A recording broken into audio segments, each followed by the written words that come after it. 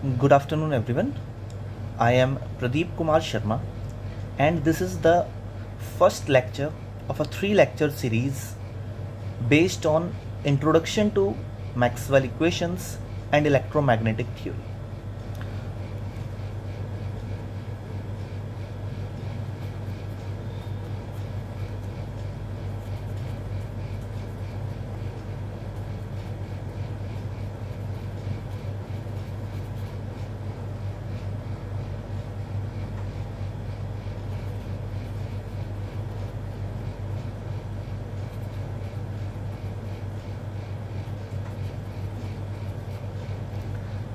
In this series, we will cover the following topics.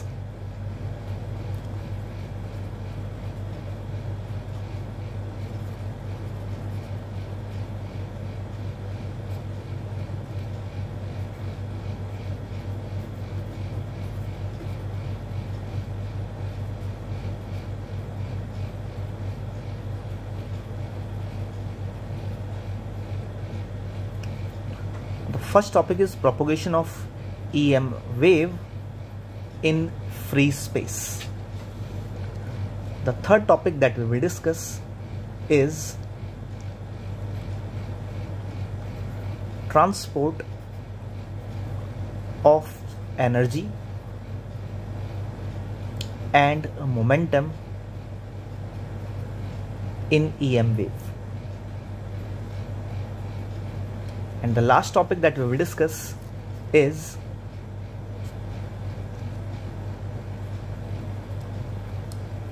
Maxwell equations in dielectric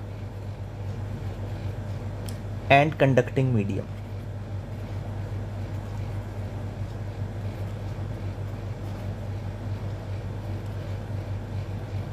For this series, there is a prerequisite for basic vector algebra and the elementary results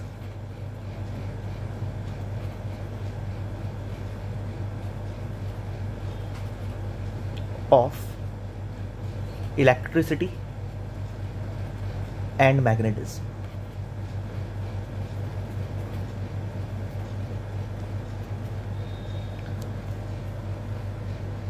So let us start our first lecture today with the first topic that is introduction to Maxwell equations.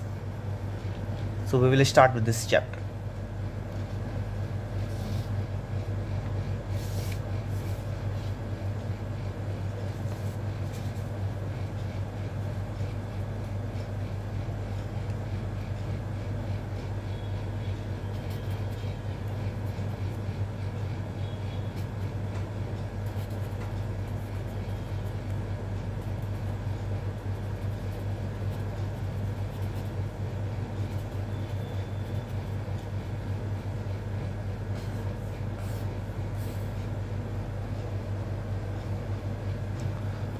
So the behavior of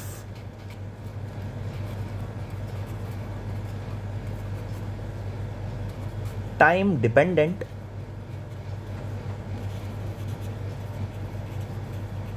electric and magnetic field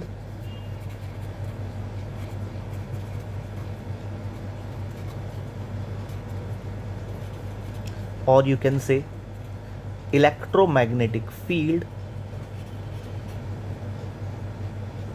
is described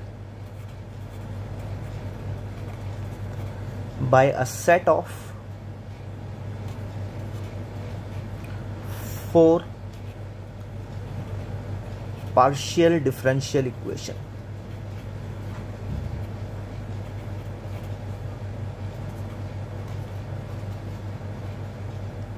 These equations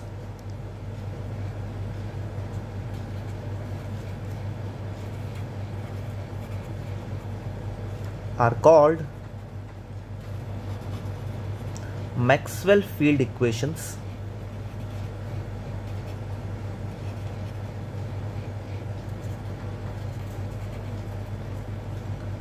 after the name of Maxwell.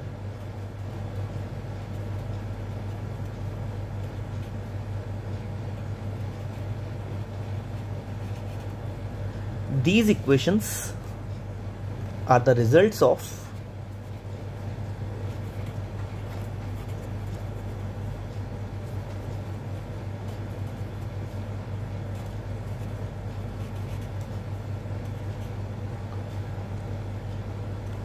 experimentally proved result.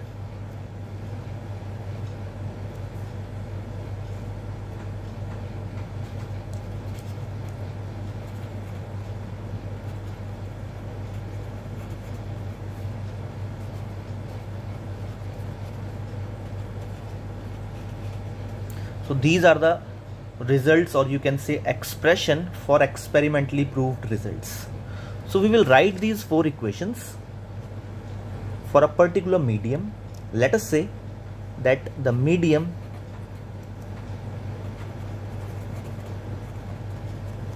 that we are going to consider is isotropic and homogeneous. When we say that the medium is isotropic it means that the properties are not changing with direction. When we say that the medium is isotropic, it means the properties, which properties? We'll say that electromagnetic properties such as dielectric constant or you can say refractive index.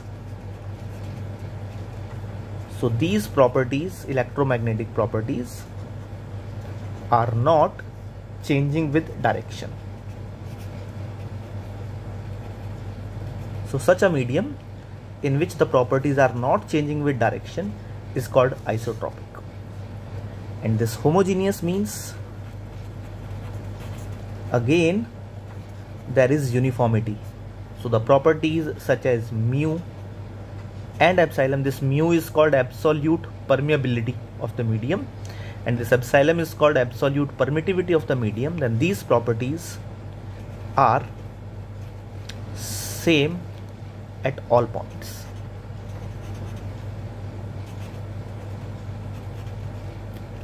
So a medium which is isotropic and homogeneous, in that medium we can write these Maxwell equations. So we are going to write these Maxwell equations for a medium which is isotropic and homogeneous. When we say isotropic, we mean to say that the properties such as refractive index are not changing with medium and when we say homogeneous it means the properties again the electromagnetic properties such as permeability and dielectric constant are same at all the points. So we will change the slide. And in the second slide we are going to discuss these Maxwell equations one by one.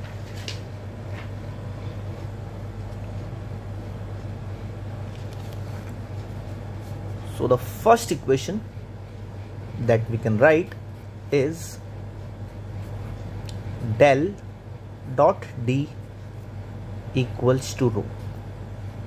This equation can also be written as divergence d is equal to rho.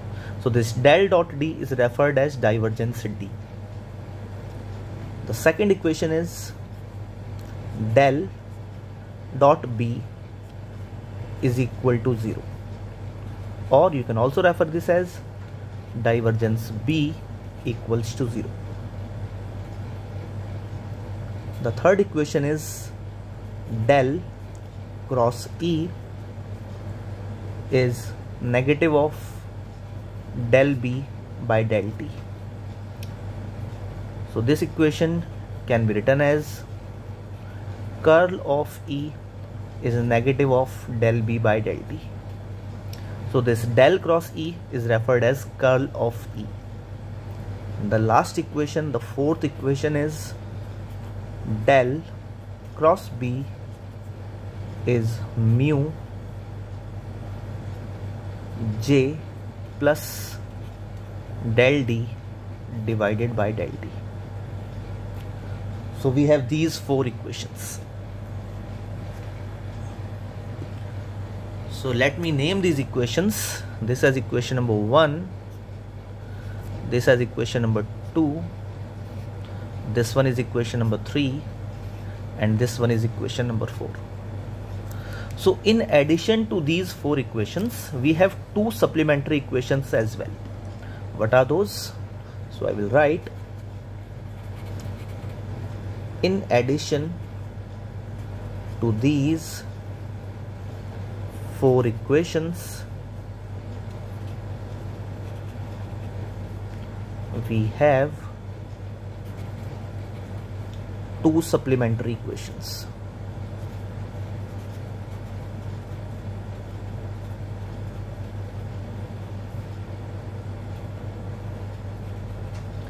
These supplementary equations are following. The first equation is d is equal to epsilon times e and b is equal to mu times h. So let me name this as equation number 5 and this as equation number 6 so next we are going to understand what are the physical quantities that are involved in these equations. So the first quantity that is in these equations is rho and this rho is called free charge density. This basically refers as charge per unit volume. The second quantity is this d and this d is called electric displacement vector. This capital E in this equation is electric field intensity. The quantity B in these equations is magnetic field induction.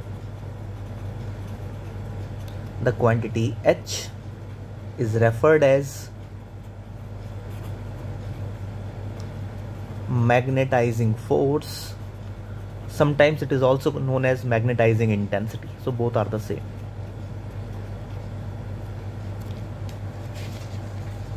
The next quantity that is in these equations is J. This J is referred as current density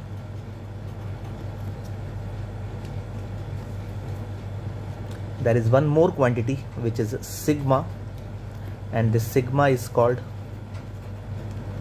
electrical conductivity so these are the various terms that have been used in these equations. This two quantities are further remaining which are not listed here and I will write those quantities over the next slide.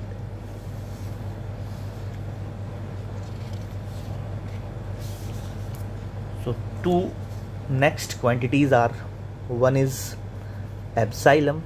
This epsilon is written as the product of epsilon 0 and epsilon r and this epsilon is referred as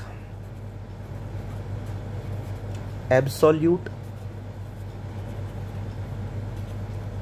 permittivity of medium on the same basis this mu can also be written as mu 0 mu r and this mu is absolute permeability of the medium.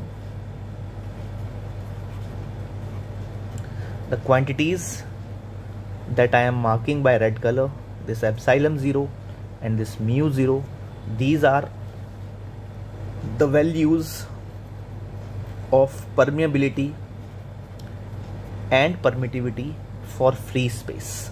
These are again absolute values of permittivity and permeability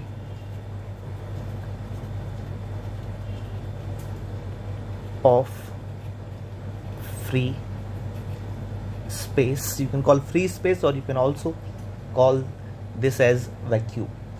So these are the quantities which have been used in these Maxwell equations.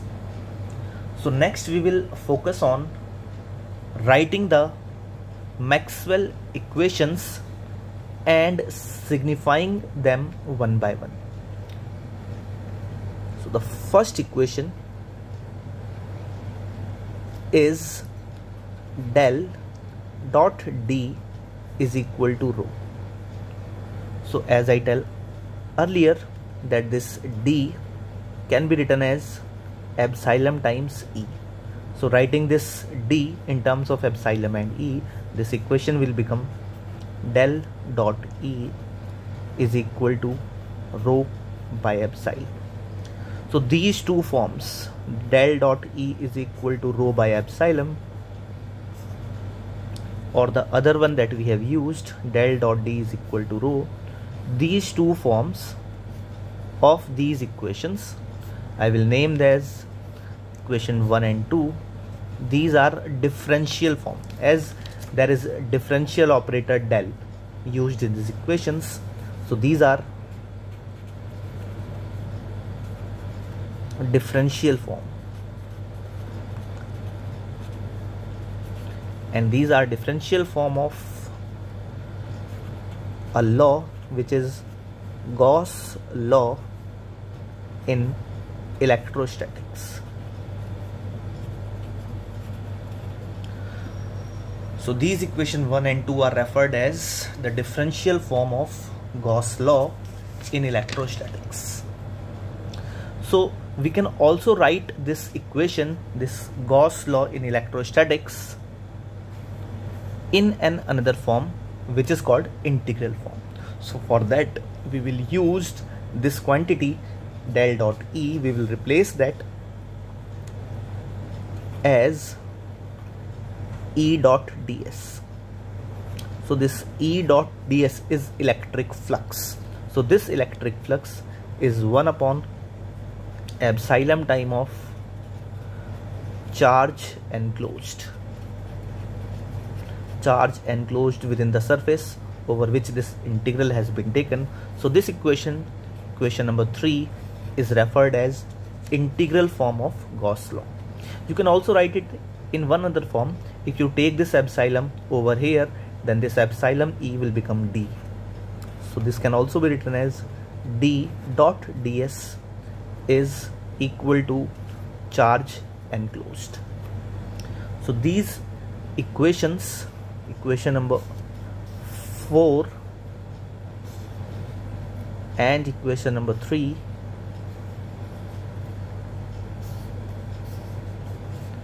these are equation number 3 and 4 these are called integral form of Gauss law in electrostatics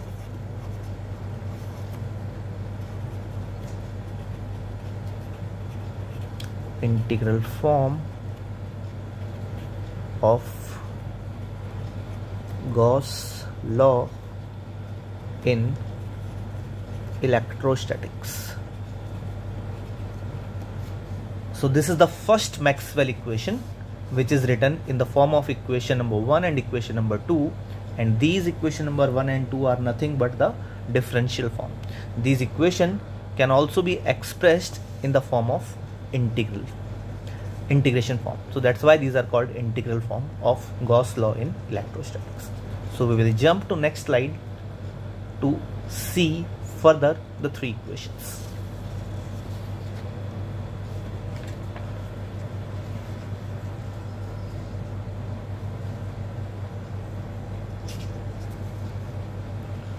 So let us jump to equation number 2 this equation number 2 is del dot b equals to 0 if you replace this b with mu times h this equation will be modified as del dot h equals to 0 so these are the two forms del dot b equal to 0 or del dot H equals to 0 these two equations are differential form I will say equation number 3 and equation number uh, 3 and 4 we have already used so I will name it as 5 and 6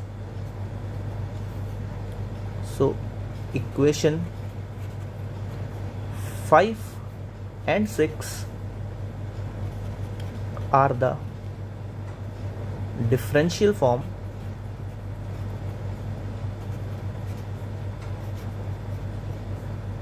of Gauss law in magnetism. Again these equations are in differential form. So these equations can also be written in integral form. So you can replace this del dot B with surface integral of B dot ds. So this integral of B dot ds will give you 0. So this equation in which we have converted this del dot b with surface integral of b dot ds we have utilized Gauss divergence theorem. So this equation 7 signifies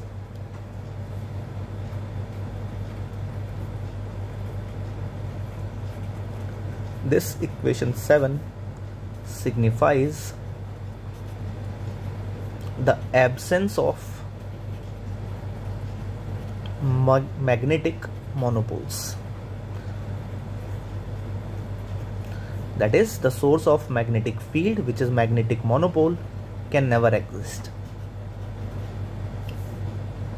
So the absence of monopoles magnetic monopoles is signified by this equation 7 so while converting these del dot b to integral of b dot ds we have utilized Gauss divergence theorem. So the third equation we will jump to third equation which is equation Maxwell equation number 3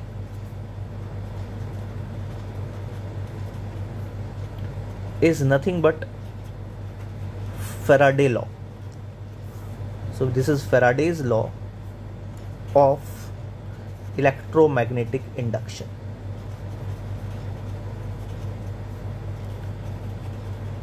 so this Faraday's laws of electromagnetic induction is written in the form of del cross E is equal to minus del B by del T so this curl E is equal to minus del B by del T is again the differential form of Faraday's law. Again we can convert this del cross E to line integral using Stokes theorem. So if we use the Stokes theorem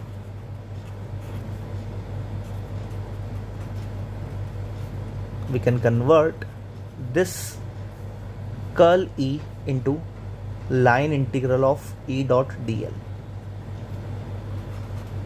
So in integral form this equation is written in this form.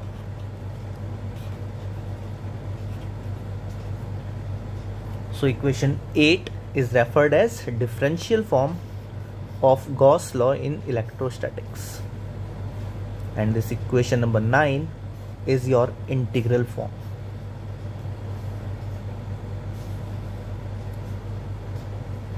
So I will write that equation number 8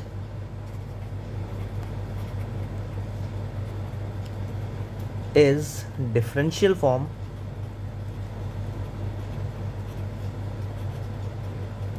of Faraday's law of electromagnetic induction.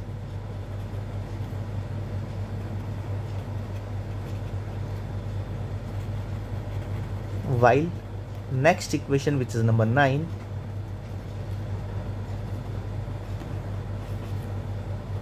is nothing but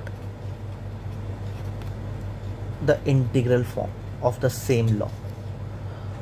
So this is your third Maxwell equation which is nothing but Faraday's laws of electromagnetic induction.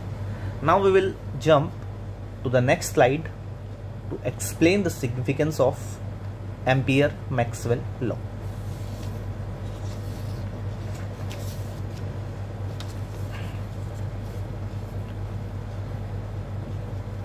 So this is fourth Maxwell equation and this is nothing but modified form of Ampere's law in magnetostatics. So Maxwell modified this equation which is Ampere's law in magnetostatics and in the modified form this equation is written as del dot B is mu J plus del D by del T. So this equation is modified form of Ampere's law. Sometimes it is also referred as Ampere-Maxwell law. Equation 10 is known as modified form of Ampere's law or Ampere Maxwell law.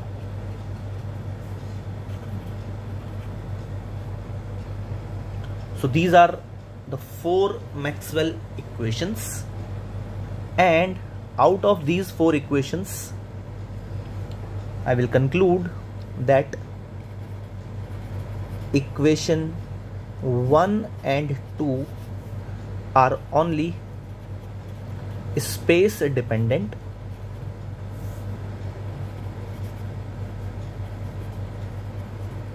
while equation 3 and 4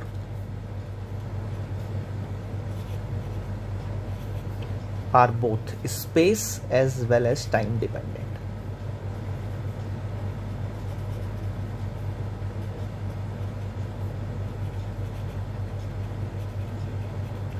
So to conclude, I will again write the four equations.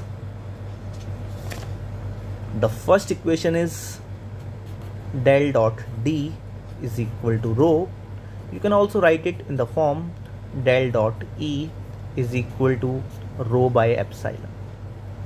The second equation was del dot B equals to 0 and it can be written as del dot H equals to 0 third equation is del cross E is equal to minus del B by del T.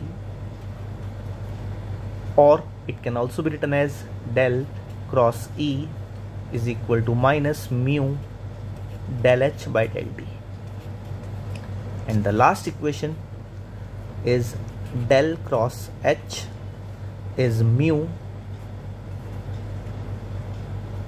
This J can be written as or h will be written as mu into h. B is written as mu into h so it will be mu j plus epsilon del e by del t. So this is the fourth equation. The mu will be get cancelled out from both sides. So you will be left with del cross h is j plus epsilon del e by del t